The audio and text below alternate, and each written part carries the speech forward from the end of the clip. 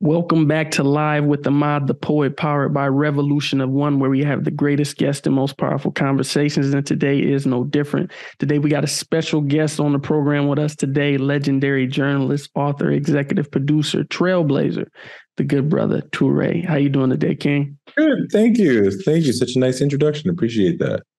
No, it's an honor and, and, and, it's a blessing to have you on the show for a few moments. And um, I really appreciate this. Um, I'm humbled extremely to have you on, and I, I just want to uh, just say that just I appreciate your time.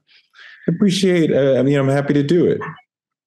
Absolutely. I wanted to uh, start off because um I, I, see that I mean I follow you on Twitter and I see that you're really active on Twitter and um you you interact with um a lot of the followers on Twitter and just a lot of the people um who are just speaking on different social commentary. I wanted to ask you, do you think that is um a mature do you think social media is a mature enough space for um actual serious commentary? That's a great question. For the most part, no. Mm. Uh for the most part, um I mean, because it's so short, because you're interacting with so many people at the same time. Um, mm. No, quite often you're not having a mature conversation, or certainly not of the intellectual level. If you were chopping up an idea with, you know, three, four people who you respect, who, hmm. you know, a certain level, you know, I find quite often I am doing things at basically like a remedial level. Um, mm. Just as one example, we were talking about uh, the gun conversation, gun yeah. safety conversation yesterday. And of course, you know, somebody on the right says, you know, well, the Democrats had the White House, the Senate, and Congress for two years and you didn't do anything. So, mm. you know, and it's like, well, you know, so now I'm in like remedial 101 politics of like, well, the Democrats in this time you're talking about never had a filibuster proof majority in the Senate. So even though they had the majority, that doesn't really mean you that doesn't mean you can do anything that you want in the Senate. Mm-hmm. You have to have a filibuster proof majority, which I mean, at this stage in history, it appears um, that it would be impossible for uh, the the Democrats to ever achieve that. Um, but like instead of having a real conversation about guns, it's you know we're going back to like 101. You know, but I mean, you know, there's a there's a certain fun in some of that Twitter conversation. Yeah, yeah. Um, you know, but uh yeah, so quite often you're like, oh my God, I'm rolling my eyes at like how, you know, I mean, like if somebody could make a, an argument that the left could do more to work towards gun control, mm. but like the notion that like, well, you had all three branches, and why didn't you do anything? Well, like that, you know, it, it, you know, we also had somebody saying, well, Sandy Hook happened during Obama. Um, so his gun policies didn't work. Ergo, the left, blah, blah, blah. I'm like, guys, you know, we don't like radically change gun policy, like, you know, for every president. So, like, that Sandy Hook happened while Obama was president doesn't prove anything. But then, even you get into like deeper things, like a lot of the people on the right are dealing with um, ideas that were sort of given to them and they don't really fully understand the lies that they're repeating. And mm. you get people who are like, well, there are shootings in Democrat run cities, ergo, your approach to gun control doesn't work. And it's like, well, you know, I mean, these, these, that, that just doesn't really make a lot of sense as an argument. So, do you feel like the most effective way to convey your message is to like stump your, like to, uh, cause your opponent to stumble? Because I mean, some of the most effective tweets I see is just people like with witty replies or just giving you a reply that's just like you can't come back from. You can't. It's just like touche. It's like I that. Mean, yeah, I mean, a lot of times you're talking to you're a lot of times I'm talking to somebody who mm. their uh their education, and by that I I don't just mean like high school and college, but like what news media do they consume? What books do they read? What mm. other people are they talking to about politics? All of that that forms their intellect. Um, you know, they're dealing with a complete misunderstanding of what America actually is and what the American political system actually is. So I'm kind of talking to you, but I'm really talking to other people because I don't really operate on some belief that I can change your mind. I might mm. be able to, uh, more likely, I can give you, who agrees with me but doesn't necessarily fully know why, a further explanation of why you should agree with me, right? Because you already were like, I think he's right, but I don't know why such and such. Like, well, this is why that. So I'm, I'm, I, it appears like I'm talking to, you know, MAGA dude, but I'm, I'm actually talking to somebody else. But yeah, I mean, a lot of those conversations are meant to be fun rather than actually educational. And it comes to all different sides. I just did an article mm. about how Drake is not top 10 all time. He's not top 20 all time. I see people out here talking about he's number one or number two all time. I'm like, that's oh. insanity. That's in fucking insanity. And, you know, you get people like shooting back at you, like, how could you say that? And, and and you know the number one argument for the Drake supporter is sales, right? Streaming sales. He is a gigantic figure in far as far as modern numbers, right? Mm. No doubt. But in the article that I posted, the the problem with basing your argument for a rapper on sales is that there's really a, only so many devoted hip hop fans who are going to go out and buy a record. That might be, let's say, 2 million people. That might be two and a half million people. So, you know, we could look and see like, here's somebody who's not crossing over who can go double platinum, right? And and and I'm I can't name them off my head, but like you and I could look at some, you know, like, you know, DJ Quik or whatever, he's not crossing over and he can get one, two million, whatever. So there's like one to two million serious hip hop fans, something like that. Drake is consistently getting around 6 million. That's great. But that means that he has brought in several million pop fans. So there's probably 3 million people in America who have Drake, you know, I was going to say a Drake CD or a Drake download, but then the rest of their stuff is like, you know, Taylor Swift, you know, Foo Fighters, like, you know, hmm. Arcade, like whatever, like they're not hip hop fans is so if you include sales to prop up Drake as the one or two greatest artists, then that means that white people who don't care about hip hop are having a deciding vote in our conversation about who's the greatest rapper. Now, hmm. people who really understand hip hop understand all of that. I don't have to explain any of that. But people who are at a different level of, of education, to go back to that word, they don't understand that. And they're just like, Drake sold 6 million. That makes him better than Jay Z because Jay Z went 2 million. That makes him better than Nas because Nas mm-hmm. went 2 million. That's fucking ridiculous. Um, the main point I, I, I, argue in that piece about Drake, which is on the Grio, um, is that and you could i could write you know like a book about identifying mcs so i had to like narrow this down really do but to me the core thing that an mc does is flow right that is the first thing that i'm listening to when i get a new song the first couple listens i don't know about you i have no idea what half of the words are right like we catch half of them but you know you might catch a nice punchline but like I'm not catching every word the first, second, third listen, but I'm catching that flow and I'm catching mm-hmm. how you're moving through the beat and how you're changing the flow, how you're relating to the beat. And if that flow is dope, then I want to keep listening to the record and understand all the words that you're saying and what you use to build that flow. If the flow ain't shit, then I'm not really that interested in the song mm-hmm. and like, digging into like what you're actually saying. And that is the thing to me that is really dope and special about hip hop the way the MC chooses to flow through the track.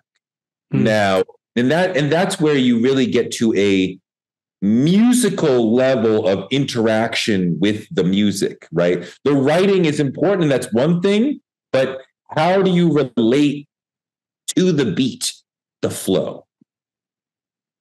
I'm talking about Jay Z, Nas, Black Thought, uh, mm. Big, um, Andre 3000, you know, real flow. If Drake walks in the room, I'm like, what the fuck are you doing here? You, he flows like a slam poet. He flows like the singer in the talk part of the song. I that, like Drake. I don't know. Maybe it's because I'm young. I, like, I like Drake. Drake. I love Drake. If I like a lot of Drake records, right? So I'm not saying I disagree with you. I like him. And when we say, he, we, you know, if you say he's your favorite, that's you personally. That's fine. No, he's not my favorite. But, but if you say he's the greatest, now you're making a judgment comparison versus other MCs. Mm-hmm. That's where I start to get basically triggered because I'm like, there is a set of aesthetic standards that partly includes flow that we've been rocking with and refining for decades. Mm-hmm. And notion that Drake would come in barely able to flow, and people would be like, "Yo, but Drake," I'm like, "No, money." And you know, I didn't say this in the article, but Drake is like Tyler Perry in this specific way. Mm. It's only the sales that enter them into a serious critical conversation. Right? Mm if if Tyler Perry and Drake did not sell tons of records or tons of movie tickets, serious film people or serious hip hop people would not microscope the work because it doesn't it doesn't merit that. It's not that good, but it's super popular. So then we have to grapple with well, what is it and why is it hitting so many people in, in, in the right spots? You know what I mean? So, you know, if, if you just did like a blind taste test sort of thing, and we don't know who sold what, he he he. If you can't think of twenty MCs who are better than him, then you have not listened to enough hip hop. Mm-hmm.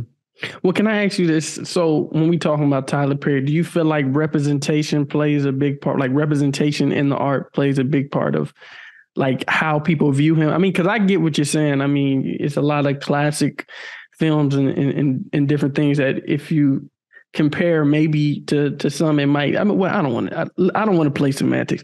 It might it doesn't compare up. It's just levels to it I, I see because i'm i'm trying to play po- i'm trying to play politics. Let me not it's not what spike lee is doing. And spike yeah. is quite often uh, a flawed filmmaker. Whether or not you like Jordan Peele's work, you gotta you you can't tell me that they're all all these three filmmakers are on the same level. But Jordan but Peele to, is like far more sophisticated than yeah. Spike and Tyler. And but to play ahead, to play God's advocate, maybe some people are just appealing to that art form. I mean, maybe there's a subgenre or a subsection of the culture that prefers that type of you know, movie or type of the, the type that gold who went to his um his plays and stuff, like the old six year old lady. Cause he said that the the um the black women, like they showed out for him in droves, like and they do to this day. Like yo, we know the, that he, Tyler, owns a demographic, right? Mm, the, does, yeah. the aunties, right? The mm-hmm. excuse me, the boomer, and now some part Xer, older, 50 plus Christian loving yes woman on lock. And that's cool. That's fine. Part of why he has that group on lock is because they have been ignored and nobody mm. else is serving them. Right. So they, you know, but I mean, like, you know, I think about my mom, you know, she would definitely rather watch a Tyler Perry movie than a Spike Lee movie. First of mm. all, she say there's cursing in the Spike Lee movie. She don't go to church. Mm but like she there's cursing in the Spike Lee movie. That that's a no for me. Like, mm. like wow, you know, uh, you know, and and then you know, she, maybe she would say that she finds the Tyler story just goes down more easily, right? Because mm. Spike mm. and Jordan want to get in your face, want to yeah. challenge you, want to give you beautiful visuals and complex stories. And, you know, some people don't want that. That's fine. Yeah. That's fine. But don't tell me this is as good as that because there is a clear aesthetic difference. And, and, you know, it pains me to act like, you know, there's not. Hmm. I, I, definitely, I definitely see the see the argument, and um, I would just say maybe good is maybe a different word than good could be used. I don't know if good. What do you mean? Is because uh, I mean good is relative. Like you know, like you said, your mom might think that Tyler Perry's is is, is better than Spike Lee's, but uh, maybe it's just I don't know. It's executed sharply, more sharply. Like you know, some of these you know Inception and and different movies like you know big classic films that are just executed very sharply.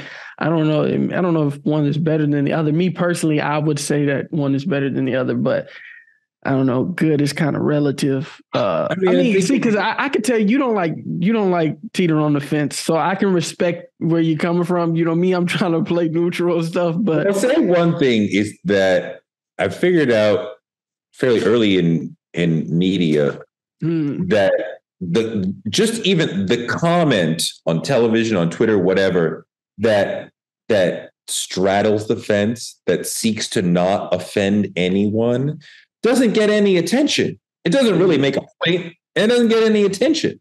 Mm. You know, if you if you get strongly behind an aggressive point, mm.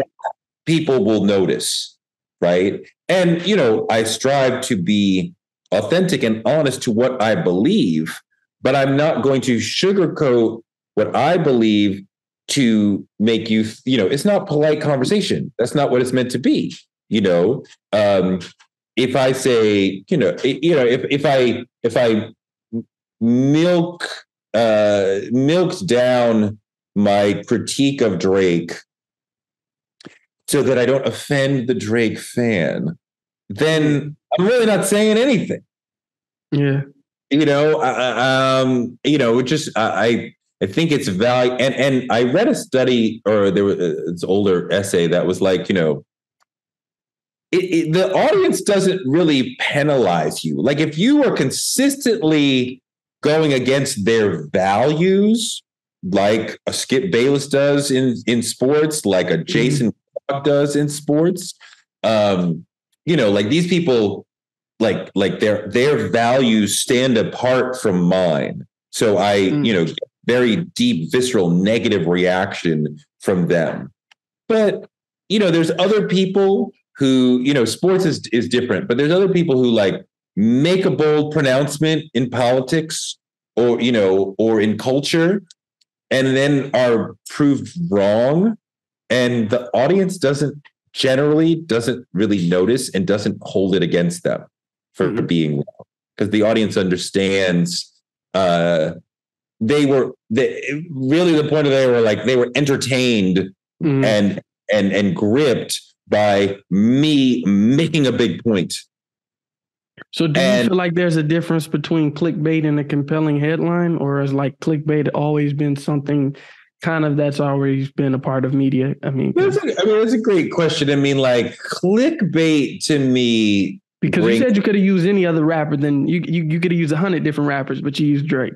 Well, no, because Drake Drake is the one who this argument really centers around, right? Because mm, okay. I, I, don't hear anybody else from the from this generation. The you're only right, people you're right, you're right. that high are Drake and Kendrick. Kendrick, yeah. Right? Kendrick is, as far as skills, lyrics, flows, uh, you, you know, topics, you know, v- quality of his voice, he's one of the all-time greats. You know, and I'm looking at my peers like how many more dope, incredible albums does Kendrick have to release before we're like, okay, so Jay, Nas, like 3K, like Kendrick's on that level, right? He hasn't had as many as Jay and Nas, but like, make it like damn near perfect for his career already. Like it's kind of insane.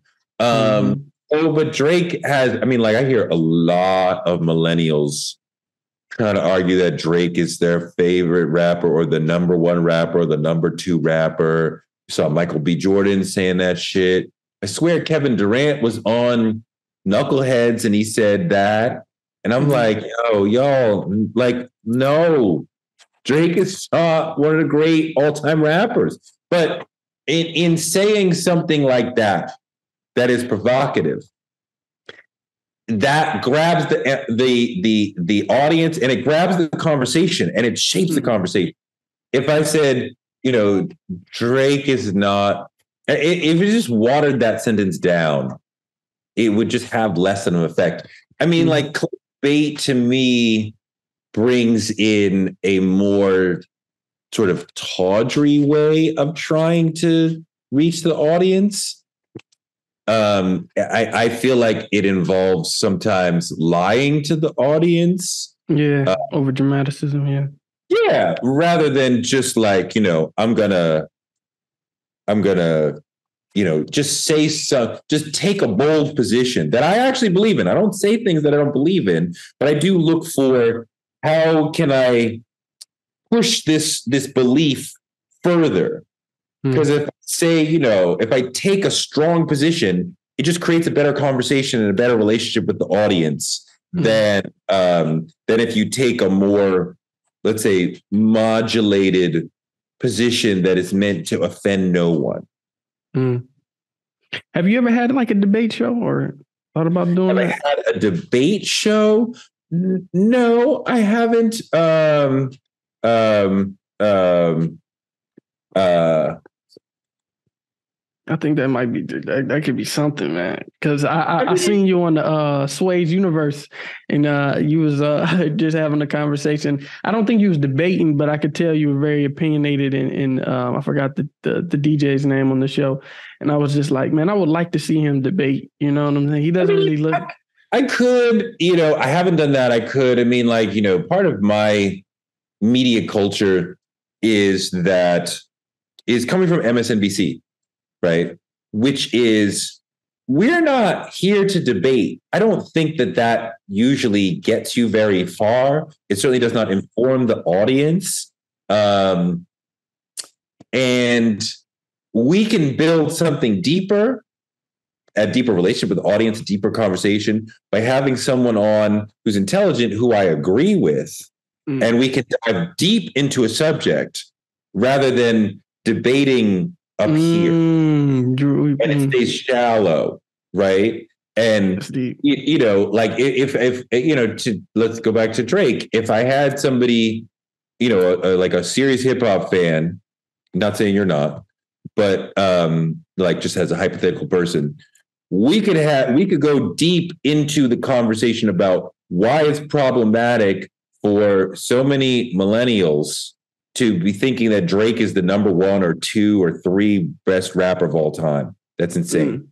Right. And we could plumb into the flow and other things, right? Versus I'm saying, you know, he's not top 20, he's not top 50. And somebody else go, yeah, but the sales. And then where do we go from that? Now I have to explain to you why that's not a relevant vector and then mm. but you're going to explain why it is well where are we going now who's learning anything from this conversation mm. we i know people who like to argue and are good at it panama jackson is good at it you know you can have like an argument but um for the most part a lot of these arguments don't really get us anywhere mm. the televised arguments mm. That's a powerful statement. I didn't think about it like that. I'm like, you you're actually right. You know, when you have kind of a similar belief, you can kind of dive deep into those deeper layers. I had an aha moment. I was just thinking, I was like, you was on BET with uh um, Harry yeah. Belafonte, I believe. Um, that wasn't uh, that wasn't on that wasn't on BET, but yeah, I did a thing a long time ago with Paul Mooney. Yeah, Paul Mooney, yeah. Diahann Carroll and Harry Belafonte and uh Spike's and Wayne Brady was the moderator, and Spike Lee's wife, who's been a friend of mine for a long time, um, was producing that. Tonya Lewis mm. Lee was producing that, and you know, she was like, "I want somebody from the younger generation, so that it's a multi generational conversation." and um, it was such an incredible um, honor to talk to these people and to be in this conversation um, with them. And I tell you also, I just I just happened to watch rewatch part of it the other day, Mhm. and I watch it all the remember um, Wayne Brady was doing like a top 10 list of black TV shows. And I believe what it was that he had the Richard Pryor show number 10. Mhm. And as soon as he said that, like, oh, your list is fucked up. Like, you, there's there's no fucking way there's nine shows ahead of fucking the Richard Pryor Mhm. show. Like, you you fucked up. You already fucked up. And he and he's like, let me finish the list before you take me. Like, but you already fucked up. Your list fucking a mess. You can't you can't get the right answer if you started with the Richard Pryor show at number 10. Mm. Now, maybe if Wayne had said, well, the Richard Pryor show was only four episodes, right? Mhm. And then after that, the network got scared and canceled it. Maybe, but he didn't say that. He didn't say that. So, anyway, yeah.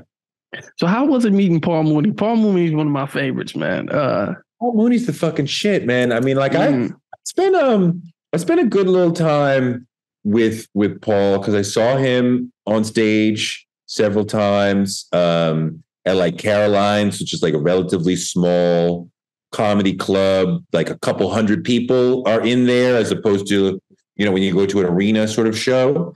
Um, so like very intimate. Um, like one time, I went and saw him. I was dating uh, a gr- a black girl who's uh, was friends with this black guy who was dating uh, a white girl, and they saw us like right in the front. oh yeah, There was a black guy and a white girl was right in the front for the Paul Mooney show. I was like, oh Mm. my god, he's gonna see us. He's gonna start breaking on them and la la la.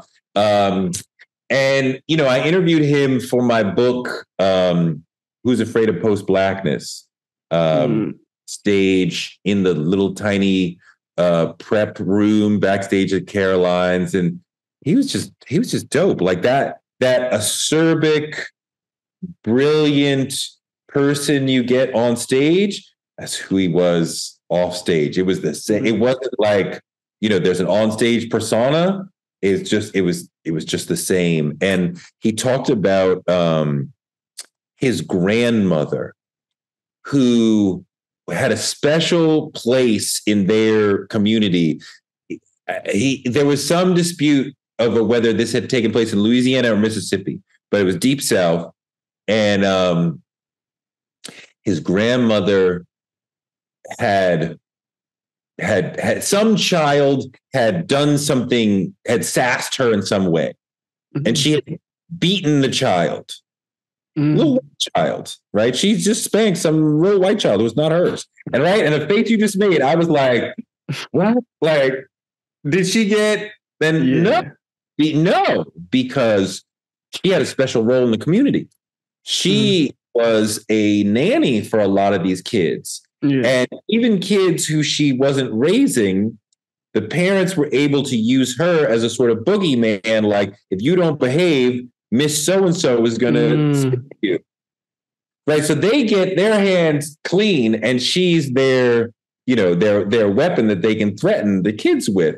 Mm. So she beat somebody who she wasn't supposed to beat. Like they couldn't get mad at that because that's what she's known for. That's what she does.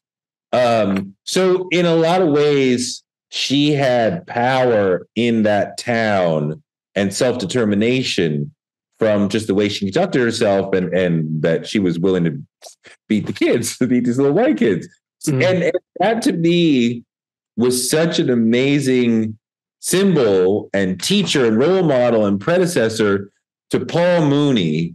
Somebody, yeah, as this this this black woman who's taken power in this town because she's willing and able to beat little white kids, and you know, you know that she was probably like really enjoying the shit out of that. So eh, you know, Paul, Paul, Paul was the best.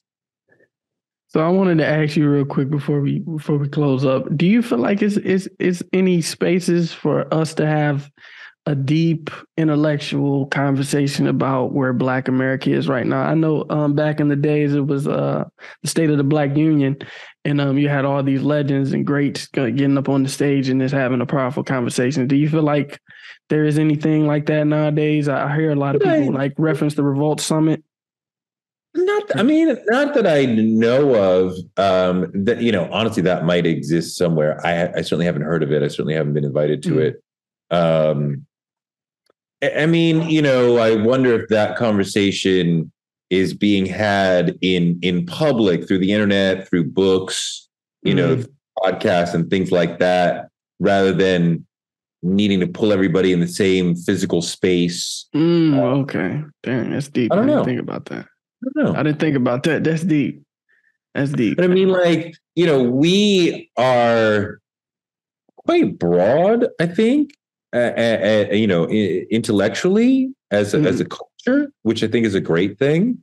Um, so, you know, you start to, I mean, like, you start to, like, that notion seems to almost push toward, well, who's our Black leader? Mm. And not sure that that we are a community that could have a leader because mm. now we are so complex. Yeah. Our needs are diverse. Um, our political desires are diverse. Compare, you know, based on you know where you live, what generation you're in, what generation you're in, what class you're in. Right. Mm. Like last in the last presidential election, we saw um, a lot of black millennials going for Bernie Sanders but mm. the black uh, boomers were going for Joe Biden, right? The Gen X was a little bit more complicated, but you saw those two groups were in complete disagreement about who, you know, so you couldn't say, you know, well, black people support this person. Like there, you know, there was, there was massive disagreement. And I think that's a good thing. I don't think we should just be perceived to have a singular perspective.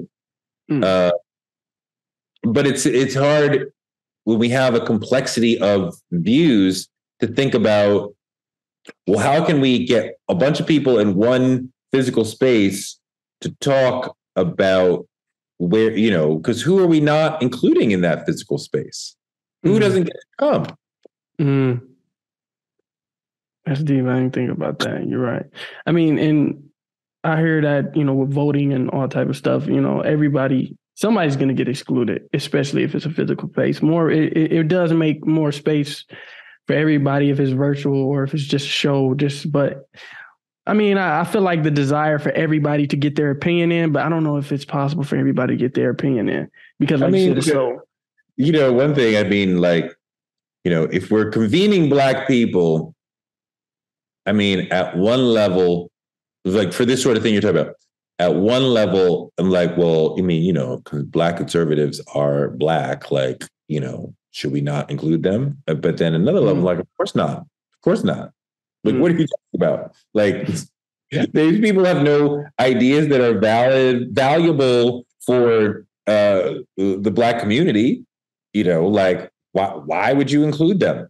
Like, you know, and I'm not saying they're not black, but I'm saying they're part of a movement that is overtly racist and mm. generally trafficking in alternate facts. I was just talking to somebody on Twitter, like you're talking about, to bring it back to the beginning, who was really pushing the idea that there is evidence that hmm. January 6th was um, done by the government. Mm. What? what? We're still talking about that after like hundreds of of right wing people have been put in prison for this. Okay. Yeah, I mean it's, it's an ongoing conversation. I, I, see people reference it all the time, but I will say, you know, um, I feel like debating. I mean, I feel like having that opposite opinion can be good a lot. You know, I always say, you know, the truth is not scared of a lie. I mean, the the the, lie actually makes the truth seem more powerful because once the truth presented, it's just like it it just knocks everything else out. Um, but I did want to ask you, I mean, lastly, um, I heard you talk on uh, Vlad TV. Um, you was talking about conversations that you like to have, and what you're interested in is people's self talk. What is your self talk before you have a big interview? Before you, you know, um, uh, curating a conversation? What What is your self talk to yourself to stay grounded and calm, or to stay sharp? Because that's something that I need. This is a personal question for me, so I yeah. wanted to ask you what What is your self talk? That's a great question. Um, I mean, I'm always positive with myself. Mm. I'm not negative. I don't talk down to myself. It's important that you are a great friend to yourself, mm. right? You were hanging out with somebody who was like, yo, you ain't shit. You fucked up. Oh my God.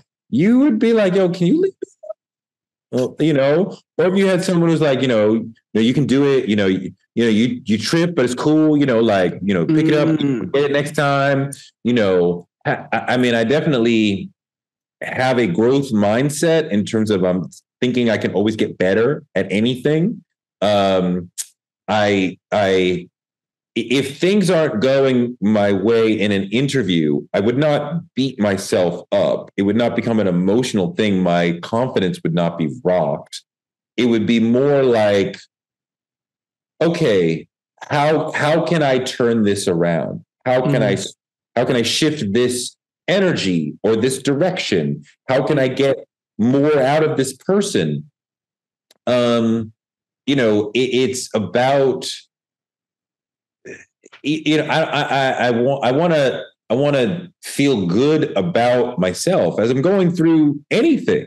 So there's there's time to be reflexive or reflective, reflective, and say, you know, well, you know, I, I could have done that better. I could have handled this better. I could have, you know, and let me make sure next time I'm better prepared at this, or I'm ready if somebody does that. Mm-hmm. Um, but I never want to be like, you know, you know, just down on myself like you didn't you like it's it's not it's not helpful. You want to fill yourself with positive messages. Even if you're saying i need to make a change it can be addressed in a positive way mm. rather than beating yourself up. Um yeah it's definitely important to speak to yourself in a positive way and to be a good a good friend to yourself, like the kind of friend you would want to have in the real world. I love that. I love that. Um, I love that. That that definitely is is helpful, uh, especially for me. Um, I just noticed um, during interviews I have to like go into a space. I normally listen to classical music before I do interviews, and I just I'm like, man, it's just about sharp. It's about being sharp, but also being relaxed. You know, um, I tell people all the time, um, especially coming from uh, my city, you know, everybody done doing podcasts, and I'm just like, you know, you got to be surgical with it. You got to be sharp with it. But I just wanted to hear from one of the greats, you know, how you get into that zone and how you just maintain your cool and your calm because you've interviewed the legends of the legends, you know. So, I mean, you know, one thing is, you know, I'm definitely thinking about. I'm aware of what all my questions are. Mm. Don't go in order. I'm listening exactly. to you and seeing are you leading into a question that I have that's further down the line? Mm. So you're kind of intimating like I'm ready to talk about this issue now. So the question I had written down as number eight becomes mm. next. Just because I'm aware of what all, you know, they're kind of they're kind of I'm aware of what, all the issues that I want to touch on. And so you're leading me toward that. So we'll go ahead. It doesn't have to be in the order that I pre wrote it, like, you know, but I'm also like listening to you very carefully and trying to think about what are you saying that I need to dive deeper on? Mm-hmm. What saying that piques my natural curiosity? Sometimes, what does that mean? It's a great question. What do you mean by such and such? That's it. Doesn't have to be a long mm. question. How did you do that? You know, just just that, because some people will say, like, you know, and and then I achieved enlightenment. How? How'd you do that? right now, so now they're talking about mm-hmm. something, you know, that not that they did it, but how they did it. Um, why'd you do it like that? Like short questions. that keep you in the moment of the story you're telling. Um, but um, I, yeah, I'm definitely listening to you, and and the fact of me listening to you very closely is important too, because when you do an interview with me, you will never feel more heard mm. all day. I am paying attention to you. I am completely focused. If you make a little joke, I'm going to catch it and laugh. Not corny, right? And laughing all up here when it was a little thing, but like I want us to feel you know, in in in sync. You mm. know, you made a joke, he laughed. He asked about your life. Like he asked a deep, specific question about your life. He listened, did not interrupt, and then asked a follow-up deeper into that. Wow, like I feel really seen. And when the person is like, you I feel really seen, they feel more comfortable to give up more. Mm. And and so I wanted to, and, I always wanted to feel like a conversation. Yeah. I don't want to feel like, you know, so I want to ask you this question. I love it when people are like, yo, when are we starting? I'm like, yo, we started five minutes ago. I just was like mm. keeping it natural, you know, and it was not like, let me ask you a question, but I'm just like mm. blowing in a conversation that's focused on you right? If we were friends, we would have an equal conversation. An interview is just going to be one directional. But I'm keeping it conversational. So, you know, and and I'm paying attention to, you know, like, so how much time do I have left? How much time have I spent on this issue? Have we covered this issue? Is it fascinating? Is it mildly fascinating? Do I want to move on to something else? If I have this much time left, and I'm running out of questions, we'll spend more time on something, or I'll look for something that is completely off the menu that we can go into. Um, you know, if time is running short, then I might like jump to the next issue. So I make sure I get that in, right? Mm-hmm. But like, you know, definitely thinking about the my relationship to the time, my relationship to how long have we scratched this issue? I remember once I interviewed Puff Puffy, mm. and he said he's never going to release another album, something like that. And I was like, do you, does that mean that you're never going to do any more music? And he gave me kind of a vague answer. I'm never going to release another album. It's vague.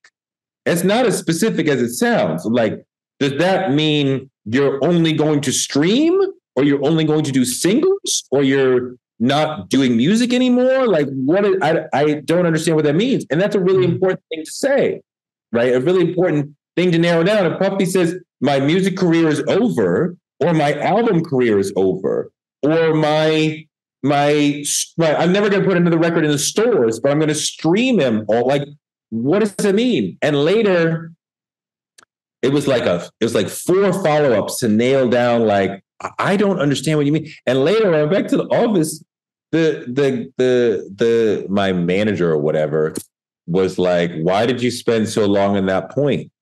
I'm like, because I didn't fucking understand what he was saying. It's an incredibly important point. Mm. And Booker, I never forget. He said it was somebody who was like, you know, on the crew who was like a little bit on the lower end of the list or whatever. Mm-hmm. You know, less responsibility or whatever. And and um and he had said something about just whispered something to somebody about like why doesn't he move on? Mm. And I'm like, I didn't understand. Mm. I'm the interviewer. I'm the one who did a million of these interviews for you that you liked. I didn't understand. I'm sorry if the grip got it before I did, although he couldn't have because I saw more possibilities for what does that important sentence mean mm-hmm. than he did. He thought it meant one thing. I'm like, that could mean one of three things. And this is important. We got to get this nailed down because this could be newsy, whatever. So anyway, I'm just I'm thinking about I'm definitely thinking about how long have we spent on a given issue, but is it really important? You know, if you're talking about, you know, the time you almost committed suicide, I mean, like DMC from Run DMC was on the show talking about the time he almost committed suicide. Mm. Best believe I'm going to spend as long as he wants to spend talking about that issue and alcoholism and depression that led up to him wanting to commit suicide. Like, I want to go deep into that. But, you know, if, if it's not that deep of an issue, then, you know, we'll hit it, you've explained it, we'll move on. You know, just uh, I'm just trying to gauge all these things as we're going along and make sure that it's a compelling conversation for the audience. Mm. Uh, hold on. Um, uh, you can't hear with. Hold on one second. That's fine.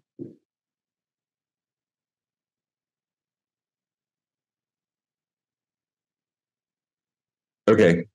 No, but I, I really appreciate that. It's, this has been a master class in journalism. Just that those gems right there, like I, I appreciate that is invaluable to me, and I really appreciate. it. I appreciate you blessing me with a few moments and just sharing some thoughts. And, and I mean, and, if you do an interview like this, like we have time to, like not like a targeted. You have five minutes. There should be at least one question that you couldn't have imagined asking before you sat down.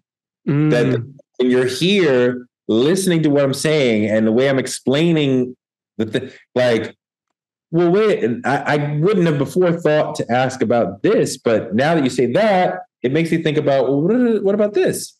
mm, I mean, like, they- like you should be paying attention well enough that new questions are coming to you as the person is talking mm, where you know and like you know 80 to 90 percent of it can be pre-written.